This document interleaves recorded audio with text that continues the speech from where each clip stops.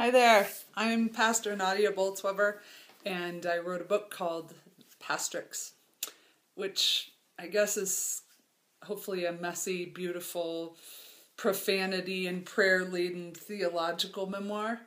Uh, the first word in the book is shit, and from there I just I just recall my deeply flawed yet deeply faithful life as it's been given to me to tell.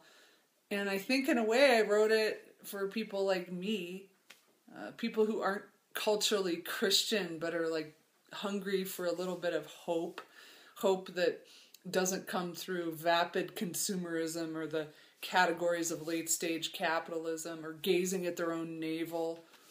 I wrote it for people who listen to This American Life and who have maybe more education than money. I wrote it for people who know the difference between American cheese and actual cheese.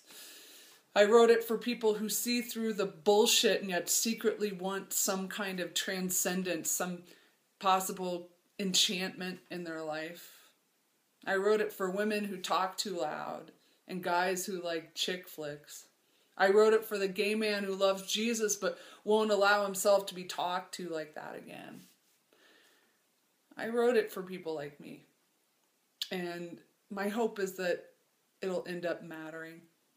I know that Jericho Books matters. I think it's a it's a new thing and it's a needed thing and it's something I'm really proud to be a part of. So, thanks. Look forward to meeting you.